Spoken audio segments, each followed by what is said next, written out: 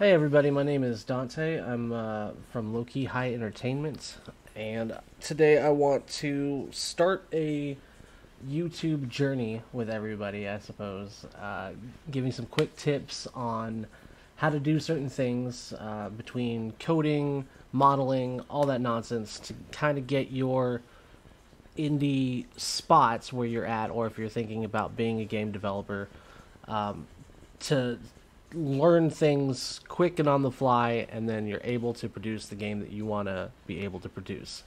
So, without further ado, uh, today I'm going to go over planes. So, right now I'm in Unreal Engine 5. Uh, this is just a third person template. You have uh, your dude doing dude stuff, etc., and so on. So, um, what I'm going to cover today is something really, really simple. It's a textured plane. Um, so what I originally did is I went into Blender, went ahead and crossed that out. Uh, Blender is probably going to be your favorite uh, being an indie game developer, just because Maya costs a lot of money and it's just you know. Um, but for this, what we're going to do is we're just going to go ahead and add a plane. Um, if you don't know how to use uh, Blender for this, it's really not that important. Um, I'll have a whole different Blender uh, tutorial on on the side, so you can follow along and you'll know uh, cool, helpful hints to get you to do things. But uh, for now, super easy. You'll start off in object mode. Uh, you click the the mesh that was there, press the X button. Um, sometimes it'll ask you to delete it, or it'll just delete it. Just delete it. Uh, that camera too, just delete it and whatever the hell that thing is, just delete it. And then what we're going to do is up here on the object mode, just hit add, mesh, and then plane. Bam. Super easy, right? Okay, next thing you do, um, you're going to go into edit mode and use the, the mouse wheel to scroll up. And you honestly don't need to do anything else, but go down here on the left hand side, there's something called a loop cut, and just cut that sucker into loops. That's really all you're doing. Anyway, so once you're done with that, um, you want this mesh to be pretty quote unquote meshy, I guess, or you you want a lot of cuts in it. Um, the more cuts, the better the performance for this little tip. But um, something like that. I mean, super simple. Um, and then what you're going to do is file, you can save your project as uh, plane or plain whatever, plain textures, doesn't really matter, and then just export it as a FBX, which is right here. So you'll hit that, it'll uh, ask you to do some stuff, name it, etc., and so on, blah, blah, blah, blah. Now, from there, what you're going to do is um, open up your files keep uh, Unreal Engine open, and this is kind of a cool little trick is that you can grab it and you can actually just place it into the world, or not into the world, but into your content folder here. Um, it's gonna ask you some FBX objects because it's a plane. It doesn't really matter. Just import it, and Shazam! Now you have the plane that you just worked on, and you can just drag that into the world, position it where you want it positioned um, etc. and so on. So, here's the trick. Uh, now that you have this cool little mesh, um, the first thing you want to do is if you want to do multiple meshes, just right click and go ahead and duplicate this and name it something different. Uh, say, like, I don't know, grass. Graw, whatever. And that way, uh, when you work on your untitled plane here, that you're able to oh. Okay whatever. Don't hit the delete button. Um, but when you when you work on your other plane it doesn't affect the new plane. So just make sure that you're saving everything. There's a little save button up here that'll just save everything that's on your screen. Um, so for this texture I decided to use Quixel Bridge. Um, Quixel's got a lot of cool stuff in it. You just sign up for it when you um, download Unreal Engine 5 and do all that nonsense. And what I'm looking for is, um, I think I, I believe I found it at a rocks, um, because I've already got it downloaded just to save some time here. But uh, let's go with local. Yeah, it's it's called Jagged Rock is the uh, thing. So your local keeps everything that you've downloaded in the past, and you're able to add it to your project. Uh, I chose a high quality for this one. The better the quality, the better the render it is, but it's not exactly necessary. Um, so I added this to my project, right? So from here, from the outliner, doo, doo, doo, hold up. All right. So from the from the outliner, you have what's called mega mega scans, and that's nine times out of ten the folder that that's going to go into. Um, you can keep it as is. I'm not going to tell you guys how to organize things, um, but tutorial purposes, we'll just do it this way, and you can move this however you want it. Uh, when you go ahead and rename things, make sure you rename them and make sure you put them in the folders you want them in before you start the project. Um, just because when you're starting to code and you're like, hey, I want this uh, material instance, jagged rock or whatever, and then you type it out and you find out it's not there anymore, or you find out that it's named something different, it's going to mess up your code like midway when you change things. So make sure you name everything, make sure you put it in the folder that you want it to be put in. That's the whole shebang. So what I'm going to do is I'm going to click this, or left click and drag this material instance on top of this plane.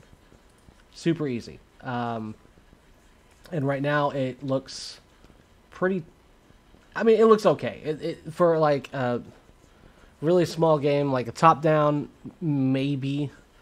Um, it's just not a great quality, I guess. Uh, so from here, um, it'll probably open the details panel. It'll tell you like textured plane. This is the uh, the material that you're going into, etc. and so on. So what we're gonna what we're gonna do with this is we're going to go up to um, modeling mode, right? So here's where the quote unquote magic happens. And from here, um, we're going to scroll down into a place called displace. And what this is going to do is it's going to, yeah, it's going to make it look weird. Um, what it's going to do is it's going to take your map, the map for the texture, and it's going to gauge the dark spots with the light spots, and it's going to kind of elevate the best it can with your texture. So from here, we're going to go to displacement type, and we're going to go texture 2D map because that's what it is.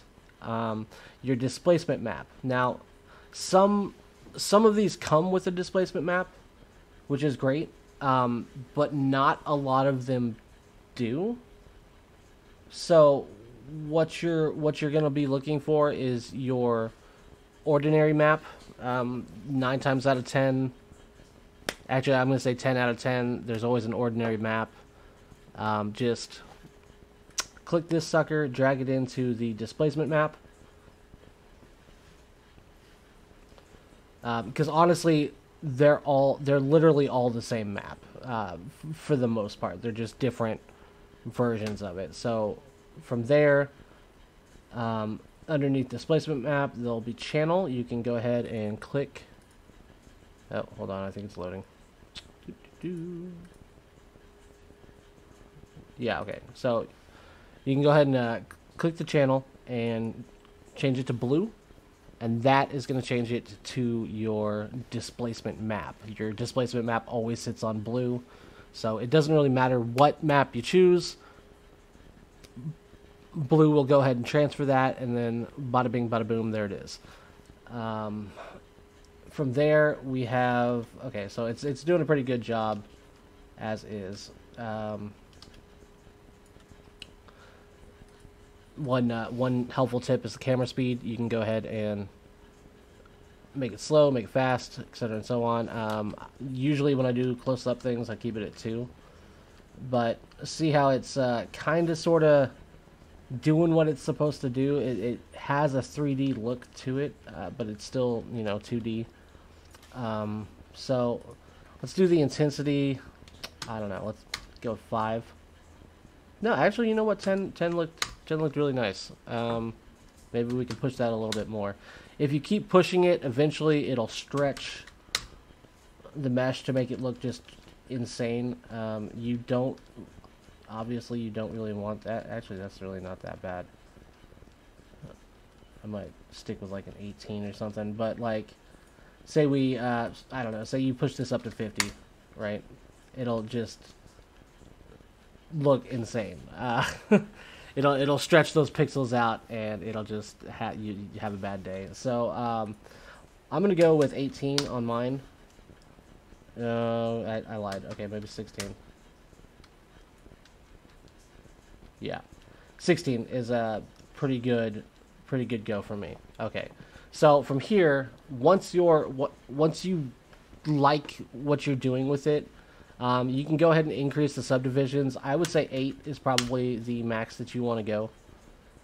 Um, and that just basically subdivides it even more just to make it fit, I guess. Um, so, yeah, I'm thinking eight subdivision displacements 16 that's okay with me so what i'm going to do is i'm going to go ahead and hit accept and it's going to take uh, take a minute or so to do its thing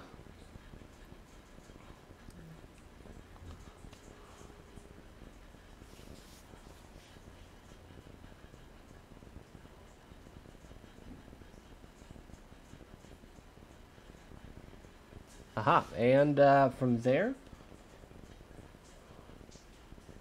well, wait for it.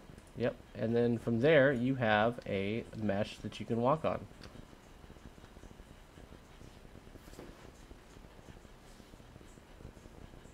It's pretty, uh, pretty nice. Now for um, for games, you can go ahead and hit this item. You also want to simplify the geometry uh, for video games. Usually, a mesh of 50 is good to go. Or not a mesh, but a uh,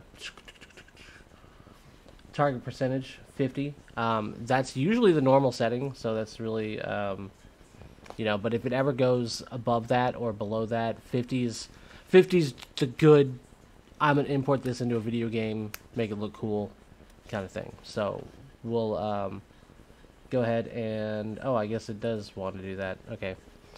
So we'll accept it and it'll take its sweet time doing its thing again. Dun dun dun dun dun dun dun. Sweet. Okay, so now when we play this map, we can go back to select mode. Um, when we play this map, you can see that our character actually interacts with the ground. Um, because it has all those little triangles or the squares uh, for the geometry or whatever. So it basically took the um, collision and it warped it with the texture. So you have you know dynamic rocks, etc., and so on. And then obviously you can make this as big as you want. You can tile it out. Uh, we'll cover that in other videos. But I thought I'd just uh, share this and see you next time.